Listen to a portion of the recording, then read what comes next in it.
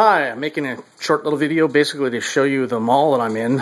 Um, as you can see briefly, I'm one of the last people in the mall. That's why I'm almost, that's why I'm looking for a little bit of funding. These are more empty cubicle spaces. This is my shop here. Um, been an established business in the building for about eight years now.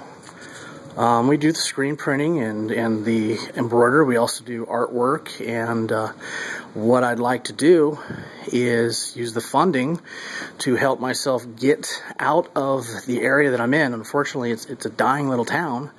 And get over the hill to where there's actually a, a very well-known art community um, and see if I can set up a shop and art gallery over there that can help me continue to create and bring new artists in that are more of the genre that I kind of fall into, more of the, I guess, comic book, science fiction, and uh, fantasy artwork.